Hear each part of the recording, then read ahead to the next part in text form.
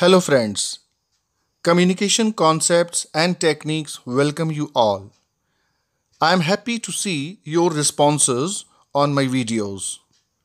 In the present series of videos on important questions for your interview preparation, today I have a very significant and one of the most asked question.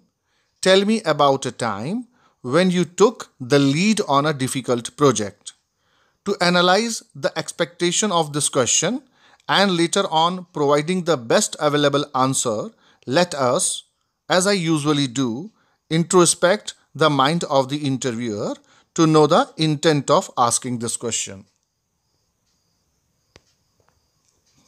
Interviewer might be interested to estimate your ability to lead a project, your leadership skills, your managerial skills, and how you can comfortably work within or manage a team skillfully. Above all, his intention might be related to know your art and artifice of resource management skills. To prepare an effective reply to the question, you can bank upon STAR method.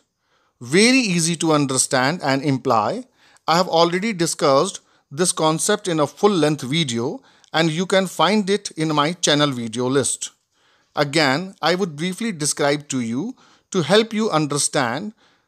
STAR is a mode stands for description of a specific situation to start your answer. Then what was the task you were supposed to do into that situation? Thereafter, what specific action you had taken on the grounds and the result speaks about your successful handling of the situation. So let us directly jump to the model answer of this question. I'll repeat the question once again in order to connect it. Tell me about a time when you took the lead on a difficult project. So I have intentionally divided one particular answer, one paragraph answer into four parts so that each part connects well, corresponds well with the STAR methodology.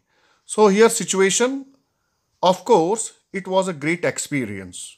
I myself volunteered and further was nominated the head of a committee of four people.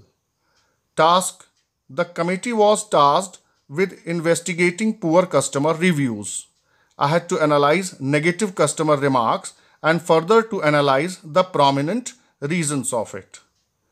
Action I analyzed reviews and discovered that customers' wait times were the largest contributor to negative reviews and negative feedback, leading to the bad publicity. I then led brainstorming situations with my team to find a solution. This solution was a change in workflow for mechanics. And the result was this. After implementing my suggestion, wait times dropped 18% as a result of this my boss appreciated my efforts. So by adopting to STAR methodology, of course, we can prepare wonderful answers of this unthought or abstract kind of subjective questions. Thank you very much. This was all for the day.